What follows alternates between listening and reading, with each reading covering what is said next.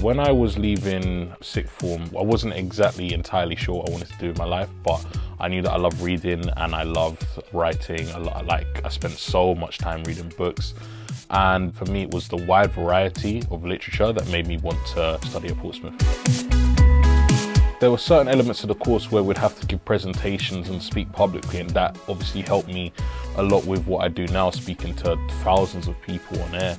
But I'd say as well, the course helped me become more confident in my ability, speak to people and communicate my ideas and, and values across to them. So it helped me in, in a few different ways for sure. Why Portsmouth? I would say there's so many different varieties of activities, be it, you know, radio or American football, and the fact that you can take part in so much more than just your course. I think some of my course lecturers were some of the best in the country. You know, they were great. They've worked really hard in helping me achieve my dreams. Any university student is going to have ups and downs while at university, and the pastoral care and support from Portsmouth is second to none. They really helped me and they really looked after me.